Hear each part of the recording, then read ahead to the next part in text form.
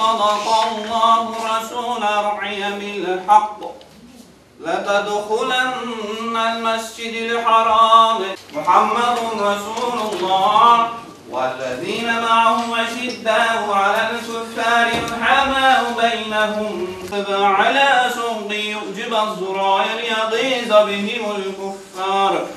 Rugăciunea ce a precedat alegerile pentru funcția de conducere a muftiatului cultului musulman din România nu l-a ajutat deloc pe Nurla Ozghin, imamul din Cumpăna. Consiliul Sinodal a avut de ales între actualul muftiu Iusuf Murat și Nurla Ozghin după ce alegerile din data de 26 martie nu au mai avut loc. Iusuf Murat a fost reales cu 24 de voturi din 24. Este o sarcină mult mai dificilă pentru mine, cu toate că am o experiență de 10 ani în cadrul acestei comunități, în calitate de muftiu, iar uh, începând de azi, așa cum am făcut și până acum, uh, vreau să îi anunț pe toți membrii comunității musulmane, în primul rând voi sluji valorile religiei islamice și nu în ultimul rând voi sluji România, așa cum am făcut-o până în prezent. Nurla Ozghin este acuzat de fals după ce ar fi depus în instanță o hârtie cu ștampila conform cu originalul, ce putea fi eliberată doar de cultul musulman din România. Un act emis de către Muftiatul Cultului Musulman din România în anul 2007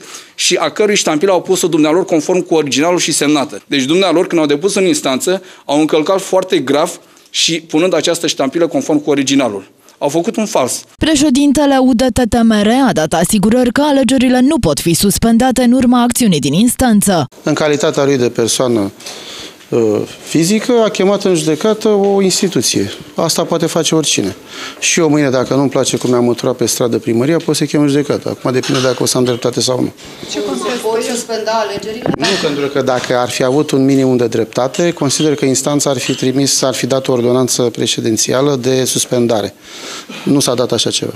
Alegerile au fost declarate statutare, fiind prezenți 23 din cei 25 de membri ai Consiliului Sinodal. Unul dintre aceștia a ajuns la scrutin după începerea lui. Iusuf Murat se află la cel de-al treilea mandat în funcția de muftiu al cultului musulman din România.